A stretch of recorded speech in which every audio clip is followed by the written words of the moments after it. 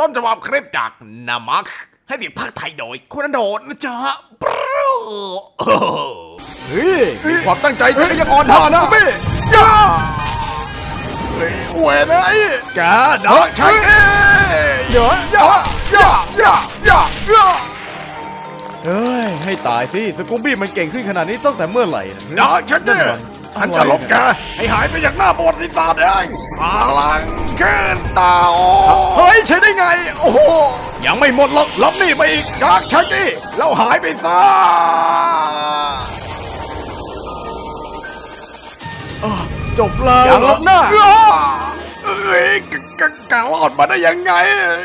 น่าผิดหวังสกูบี้คิดว่าขอแค่นั้นจะฆ่าฉันได้เหรอหลังจากเรื่องที่ฉันทำกับแกลงไป ฉันหวังว่าแกจะพัฒนาฝีมือและฝึกฝนตัวเองให้เก่งกว่านี้ แต่ดูเหมือนฉันจะหวังสูงเกินไปหรือว่าช่วยไม่ได้ ไปเกิดใหม่บนดาวหมาซะนะสกูบี้ปล่อยพลังหนึ่งเปอร์เซ็นต์ดักฉันไอ้สารแล้ว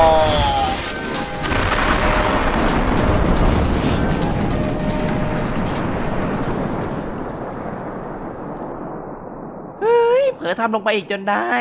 สกูบี้ยกโทษให้เขาแล้วไปเกิดใหม่บนดาวหมานะลูกยกโทษให้เหรอส้นตีนเนี่ยต่อยมาทะลงโตนกูเลยยังฆ่ากูตายเองเฮ้ยจบสักทีใครบอกว่าจบกันล่ะนายมัน แกฝ่าฝืนสัญญาไปแล้วนะแช็กกี้ แกสัญญาแล้วว่าจะไม่ใช้พลังอีกและใช้ชีวิตอยู่อย่างสงบสุข แต่ในเมื่อแกละเมิดสัญญาฉันก็ไม่มีทางเลือกอื่นนอกจากพิพากษาแกกลางอาณาเขต คุกสวรรค์ทันพระเจ้า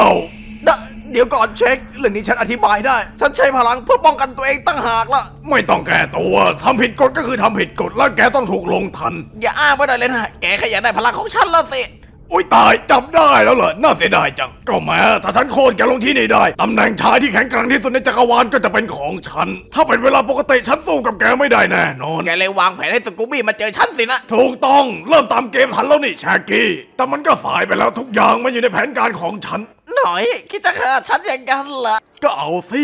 ฉันจะทำให้นายดูเองว่าทำไมฉันถึงได้ชื่อว่าลอร์ดแชกกี้นะคิดจะสู้กับฉันโดยไม่พึ่งพลังของดาร์กแชกกี้งั้นเหรอน่าสนุกดีนี่แชกกี้ เข้ามาเฮ้ยย่า